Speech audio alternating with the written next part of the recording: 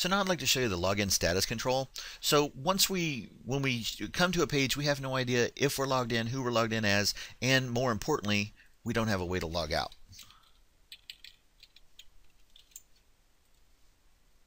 So after I'm logged in here as sales, uh, I can do all of these things, but I don't have a way of logging out.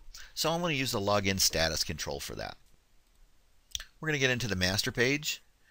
Uh, I'm going to put it here in the menu div. We're not really using it for the menu anymore, but we'll put it there. So it is under the login, and I will just grab the control called login status and put it there.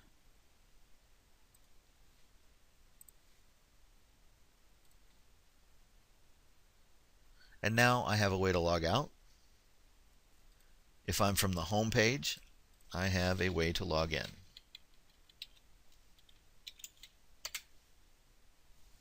And now that I've logged in, I can go to my different